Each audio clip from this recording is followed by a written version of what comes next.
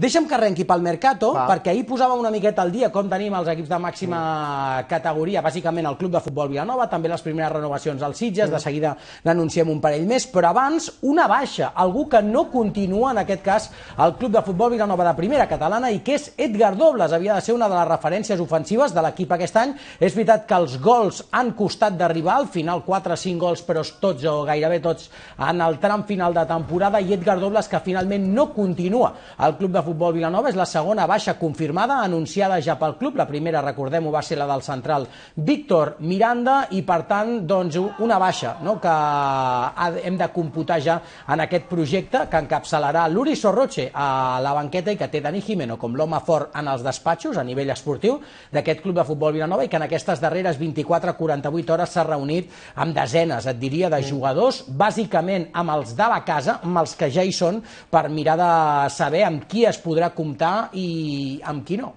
Sí, eh, ahir comentàvem, quan parlàvem de totes les, de totes les baixes i, i les renovacions de la Unió Esportiva Sitges, parlàvem del gol, que és tan important, doncs, doncs bé, una peça important de gol, malgrat que aquesta temporada estat complicada, però és un golejador, Edgar Dobles, eh, i no sé si, t'ho pregunto tu directament, Digue. com a especialista, no és dir una baixa sorpresa per eh, al Club de Futbol Vilanova? Des de fora podries pensar que sí, també és veritat que l'Edgar està a punt d'arrencar una etapa personal, familiar molt important i que potser vol baixar una miqueta al nivell de,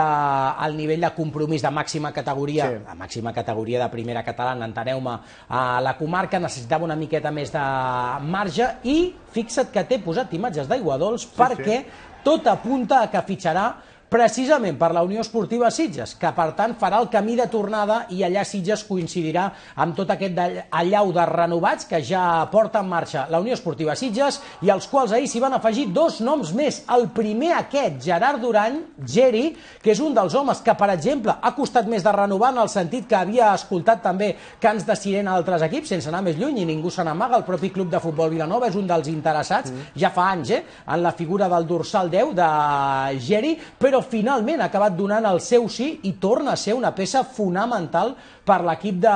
Toni Salido. Geri no va ser l'únic jugador que va anunciar ahir la Unió Esportiva Sitges perquè també va fer-ho amb aquest 19 que ara corre a abraçar el propi Geri i que és Over Ramos. Per tant, dues peces més per la Unió Esportiva Sitges que al final està renovant el 99% del que volia. Dona tota la impressió que potser l'únic que marxarà d'aquest grup de jugadors molt importants d'aquesta última temporada sigui Àlex Frutos, que aquest sí fa pinta, eh? que podria fer el camí invers a Edgar Dobles i fitxar pel club de futbol Vilanova. En tot cas, un club de futbol Vilanova que també està pendent de començar a anunciar a marxes eh, forçades un bon grapat de renovacions, que si no ho fan les properes hores, seran les properes 24 i escaig hores, perquè mm. començaran a caure jugadors renovats, perquè, repeteixo, eh, el club ha mantingut ja un munt de converses i moltes d'aquestes estan en un nivell avançat. Allò típic de